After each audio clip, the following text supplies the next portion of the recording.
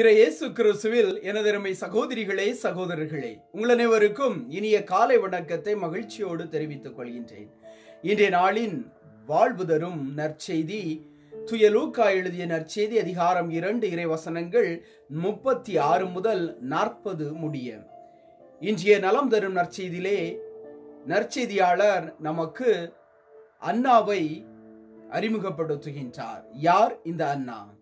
ஆசார் குலத்தை சேர்ந்த பானுவேலின் மகள். கைம்பன் இறைவாக்கினர் வயது முதிர்ந்தவர் எண்பத்தி நான்கு வயதுடையவர்.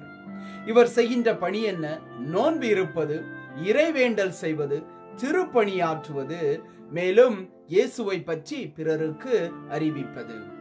மேலும் இன்றைய நற்செய்தியின் கடைசி பகுதியிலே நம் ஆண்டவர் இயேசு கிறிஸ்து சிறுவனாகி அவர் எவ்வாறு ஞானத்திலும் கடவுளுக்கு உகந்த பிள்ளையாகவும் வளர்கிறார் என்பதை பற்றி சொல்கிறது.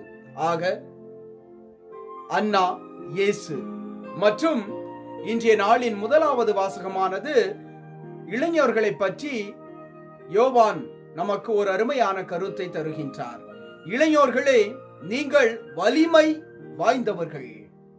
கடவுளின் வார்த்தை உங்களில் உள்ளது. நீங்கள் தீயோனை வென்றுள்ளீர்கள். ஆம். ஆக இன்றைய நாளின் இறை வார்த்தை நமக்கு சொல்கின்ற அருமையான உண்மை முதியோரும் இளைஞரும் இந்த சமுதாயத்தின் நம்முடைய திரு அவையின் முக்கிய அங்கங்களாக இருக்கின்றார்கள். முதியோர்கள் ஞானத்திற்கும் அனுபவத்திற்கும் அடையாளமாகவும் இளைஞர்கள் வேகத்திற்கும் படைப்பாற்றலுக்கும் அடையாளமாகவும் இருக்கின்றார்கள். ஞானமும் வேகமும் அனுபவமும் படைப்பாற்றலும் ஒன்றாக செயல்படுகின்ற பொழுது புது சமுதாயம் உருவாகின்றது புது திரு அவை உருவாகின்றது. இளைஞர்களை நம்பி அவர்களிடம் நாம் பொறுப்புகளை ஒப்படைப்போம்.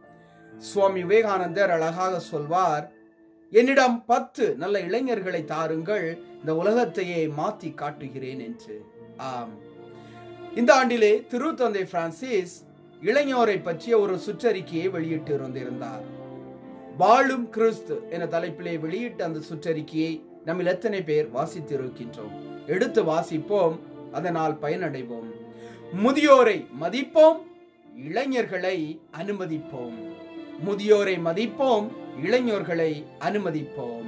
ஒன்றாக புது சமுதாயம் படைப்போம் புது அவையை உருவாக்குவோம்.